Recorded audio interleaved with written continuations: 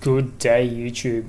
This is just a bit of a quick video to show you guys how to check your live data throughput usage or your Wi-Fi usage per the second in Windows 10. So it's pretty easy to do and you might want to know how to do this because of say, uh, yeah, you're just not sure what's consuming all your data resources, your Wi-Fi, your mobile hotspot Wi-Fi, whatever the case may be. So the first thing you do is you go to the, the task uh, manager, there we go, type that one in there. And then we jump across to the uh, performance tab. And then we'll go across to the Ethernet tab of the performance tab there. Whoop, I've made it a little bit small there. No, this is uh, eluding me. I'll just open that up again, Task Manager. And here we go, Performance tab, make sure you're on the Ethernet tab there.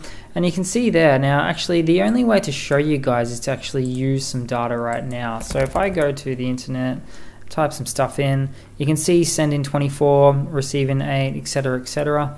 If you were doing like lots of downloads, for instance, uh, let's go to this one here and see what we can find. This will start to use a lot of data here. So here we go, receiving lots and lots per the second. I'm not quite sure what this video is. It is the first thing I'm obviously clicking on. Seven, five, six, etc., etc. So it really goes on and on. So basically, this video is just showing you guys how to check your data usage there.